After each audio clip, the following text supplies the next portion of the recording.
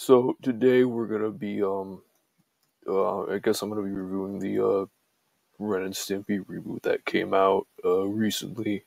Well I mean it's out, that's all that matters, but um so I know there's some very stupid people who would argue, oh, this isn't the first time Ren and Stimpy's been rebooted. Oh, this isn't the first show that's like Ren and Stimpy. Tell me, what does this remind you of? What does this remind you of? What does this remind you of? You are obsessed with Hey, you're the one showing me all.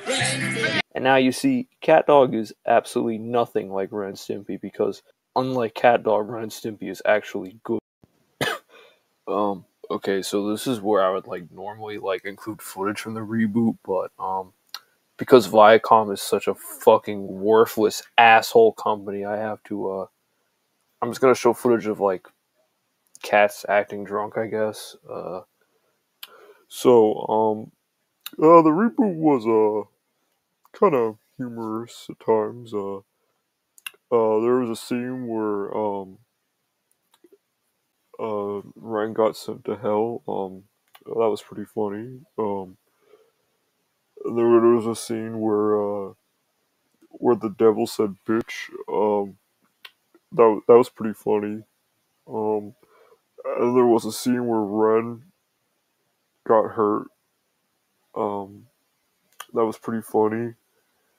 Um, and there was this, and then they went into a house, a really bad looking house, a really shitty looking house. Um, that was pretty funny.